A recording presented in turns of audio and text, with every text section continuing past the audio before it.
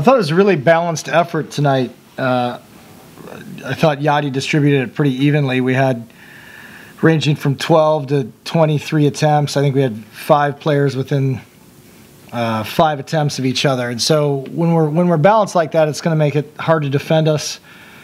If we're controlling the ball well enough, uh, I, I think that you know we can be a handful. You can see that with our hitting efficiency tonight. It was pretty good and pretty good distribution, which means first and second touches are pretty good too. Uh, would have liked to have played a little bit better defense, but we got that going as the match went on and, and held them pretty good, pretty well in the third. Uh, that's all I've got. Okay, we'll open up the questions for the student athletes, please. Carsen, I know, I know you guys are comfortable playing at home, but did, did it feel like an NCAA tournament game for you guys out there? I think it did. Um, we were all just like super excited for the opportunity to compete. I know we wanted a little redemption from last year because we lost in the first round, but it definitely did. But it was great having like all of our fans around because I think they brought the energy and kind of boosted us up, and they really helped our um, like attitude. It seemed like the student section was pretty full. What was it like to have the student support and come up to? Um, it's always really fun. We have a great um, student crowd. They always come. They have their cheers they do. A lot of them know our names, which is super fun. And a lot of them are our friends too, which is awesome. So Caroline, for you and Ella both, just what's this season been like for you guys? Being at home, being back on the court, and, and just getting this NCAA tournament game at home where you, where you know your family can come see you play. Oh, I can go. Um, it's awesome to be home. I think we're. I mean, I know we're super pumped that we got um, the bid to be at home, and that's awesome. And just uh, the fact that we both are so close to home. I know our families make it to every game, um, so that's it's really nice to have their support. Um, I know personally, I've grown up a Marquette fan um, since I was a little girl, so it's so fun to wear this name on the front of my shirt. Um, I agree. This was like my dad's college that he always loved supporting growing up. He grew up in Brookfield. So um, being able to come back here and kind of um, have it be full circle, it's really awesome, and I'm just proud to be here. For Caroline and Ella, what was it like? You both had two aces today. What's that like to be able to put points on the board from the service line?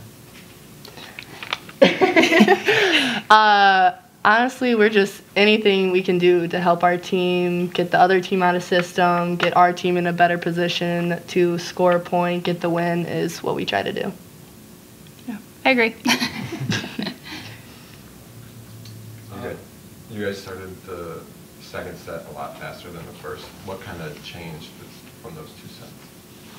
Uh, maybe a little bit of nerves just getting, you know, it's the NCAA tournament, it's a huge deal. So I think um, we got like comfortable and we were like, okay, yeah, we got this. And so we felt a little more confidence. And so we were able to just um, push points very early on. Definitely, definitely settled in a little more, which was nice, and everyone felt comfortable and was ready to bring the energy. There was a lot of focus this week on their middle, uh, Marie Flip. I believe she was held under double-digit kills tonight. What was just kind of the game plan to, to limit her and her dynamic ability? Um, we talked a lot about their speed um, out of the middle, and so just making sure that we had those early hands, seeing on defense um, if she was, you know, not bombing them at us, but hitting the perimeter, making sure we're in the right spot, communicating. So just, you know, all around trying to prepare for anything that could come at us, really. It seemed like there was a couple points where you guys just saved rallies. They kept it going. Both sides did that. But what's it like to extend a rally with a big dig or something like that? I mean, I mean, it changes the momentum of a game. I feel like, especially when you win the point after a huge save, because um, it keeps things exciting. We all get so pumped up. So, um, putting all the effort that we can out there is huge and changing how uh, we play as a group. Coming off a tough loss, creating the Big East championship game, how do you guys think you were able to bounce back today, to solidify the win?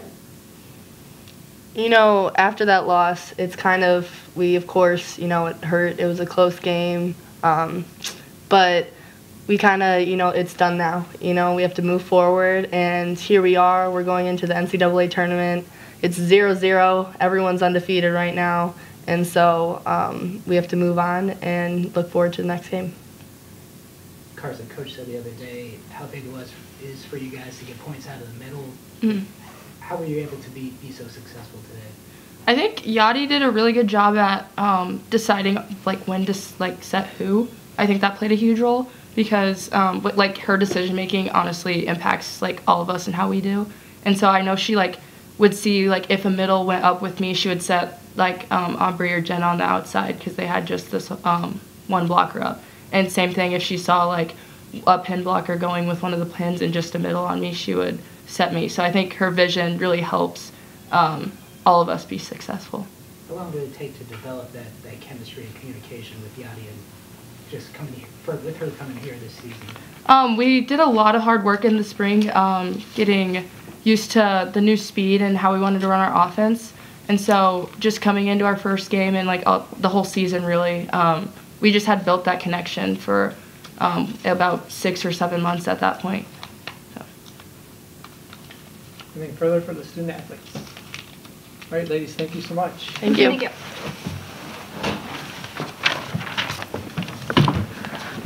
Nice job, guys.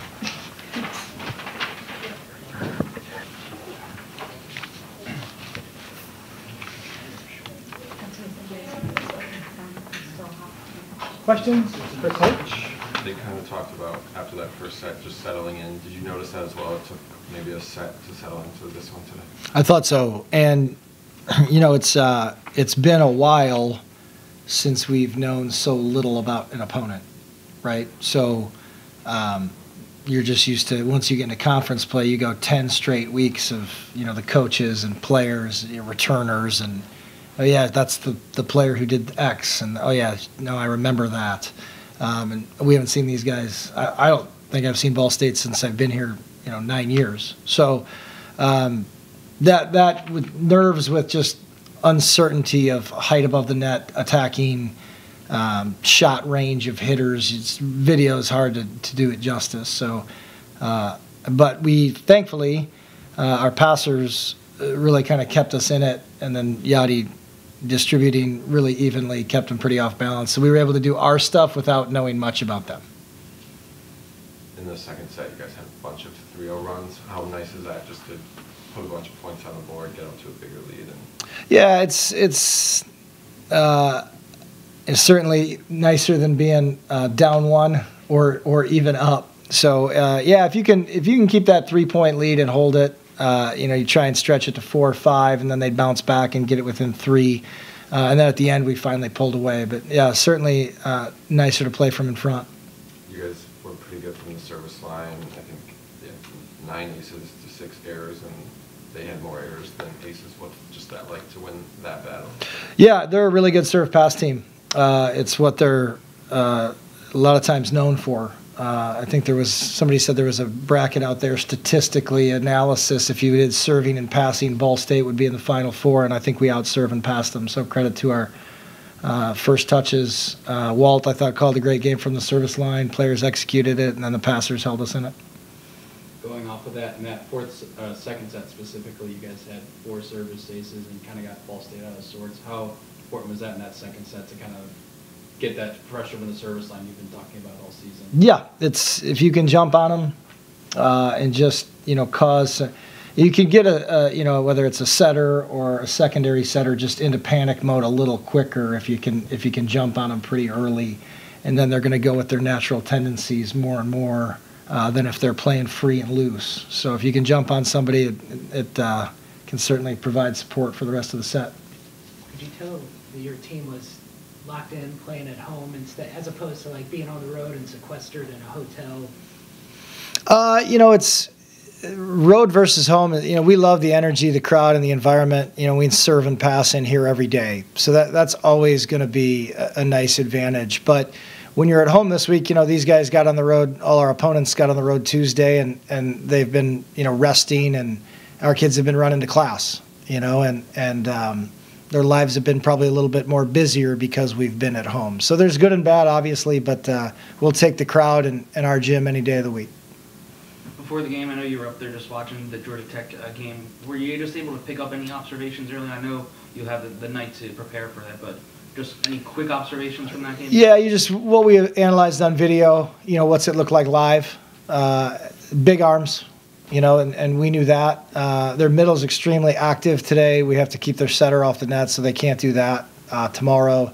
Um, that's probably more middle than they normally can get to. Uh, and so we'll have to have pressure on them so that they don't have all the options and all the balance that they had today.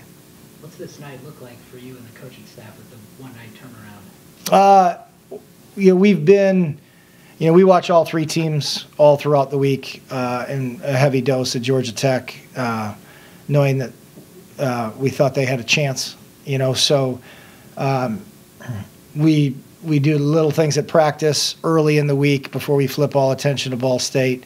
Um, so there's no real surprises when Georgia Tech showed up and play. They they can switch their outsides to do a couple different rotations, but we won't know that. You know, they can they can flip that in matches.